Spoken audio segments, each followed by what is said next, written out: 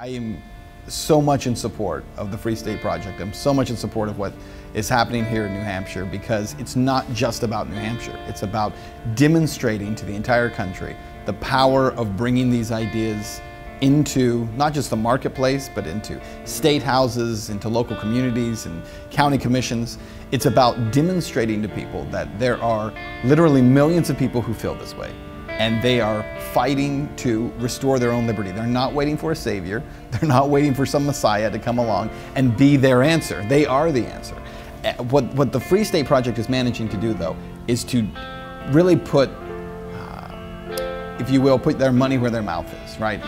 Physically getting up across the country and saying, let's go someplace and let's demonstrate the power of these ideas. There's a lot of kind of philosophy that surrounds liberty. There's a lot of pontificating. There's a lot of people thinking about it and talking about it. But here in New Hampshire, people are doing it, and that's why it's so exciting.